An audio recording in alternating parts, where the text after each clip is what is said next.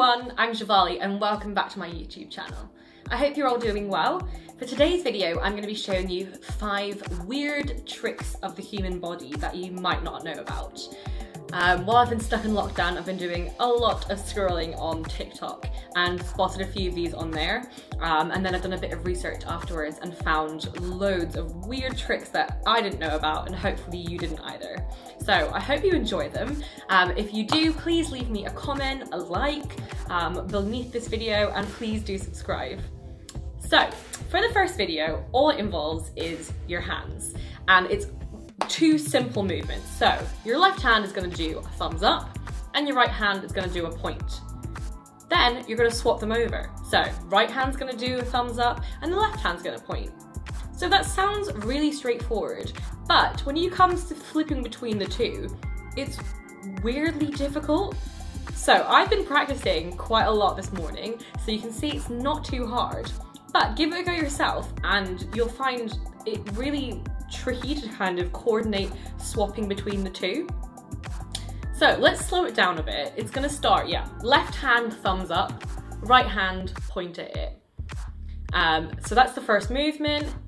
It's completely separately, try the opposite. So right thumb up and point at it with the left finger. Then slowly pull your finger in and your thumb down and then push out your thumb and your finger and that'll help you get between the two. Again, pull that in your finger, down your thumb, and then up. So you should be able to start flicking between the two. Now the reason that this is so hard is that in your brain, when you're performing a task, um, different parts of your brain are working together to complete that task. So if the two different tasks are completely separate, that's fine because it involves different areas of the brain. But when both of the tasks are relatively similar, they use the same parts of the brain, and your brain becomes a bit overloaded trying to complete the two separate tasks at once. But with time, you'll find you, you get it and it suddenly clicks and you're like, this is so simple. And that's because your brain starts to put them together into one task rather than two separate tasks. So it's a little bit like when you, I know when I was younger, we used to do at school the can you pat your tummy and rub your head? Can you rub your head and pat your tummy? And that's exactly the same, where two separate tasks seem completely difficult to do, and then suddenly it clicks and it's really simple. So yeah, first one is a simple hand movement that yeah, looks simple, but harder than it seems. Okay, so following on from that first trick which involved your hands, this next trick involves your eyes. So all you're going to do for it is look from left to right across the room and back again, keeping your head facing forwards. So left to right across the room and right to left back again. Now, you might think that that seems like a pretty smooth movement, but if you film yourself doing that, you'll notice it's that your eyes don't move in a smooth way. Instead, they move in little jerks. However, if you put your finger in front of you and follow your finger across the room, left to right and right to left, your eyes actually do move smoothly. So the reason for this is that our eyes move in what are called saccades. You might not feel it, but they're little jerks so unless you've got something specific to follow, your eyes actually move in little jerks across the room and your brain can then piece together those small jerks into what seems like a smooth movement. Now, when you've got a finger to follow, this is what's known as smooth pursuit, and your eyes have a fixed thing to fo focus on um, and move smoothly across the room. Now the only other time you actually have smooth eye movement is if you keep your eyes facing forwards and then move your head left to right. So you'll notice as I'm doing that, my eyes are smoothly moving. And that's actually what's called uh, vestibule ocular reflex. And it ensures that when your head's moving, you're not suddenly getting jolting, jolting eye movements. So yeah, a really simple one, but once you've noticed it, it's really hard to unnotice. So if you ever watch someone else on the train or anything looking out the window, their eyes completely flicker and that's because there's nothing to focus on um, rather than keeping a smooth movement.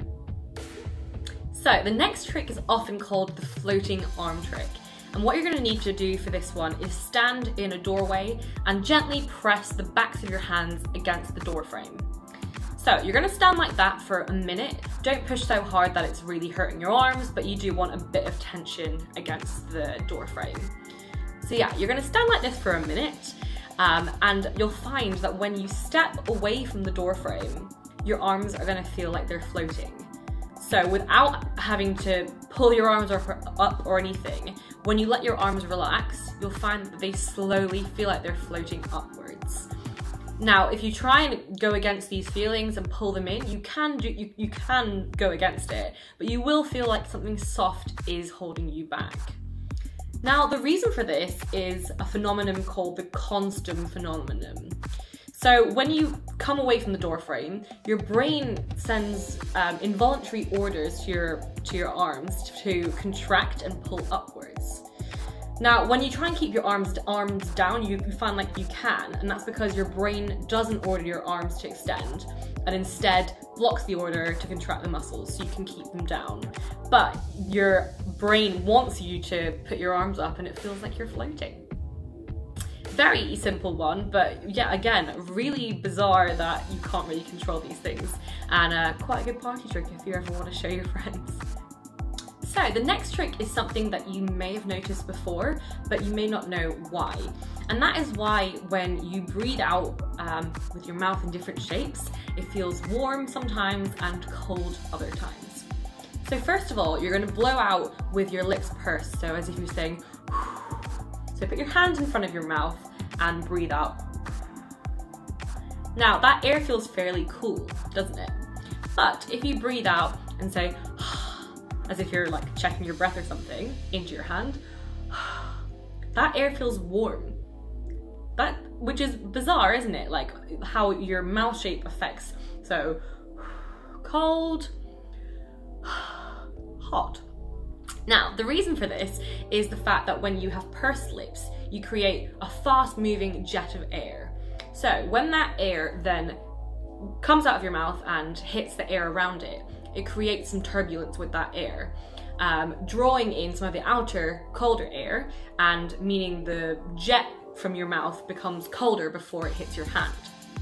Now, when you do a sound instead, um, the air coming out of your mouth is moving much slower.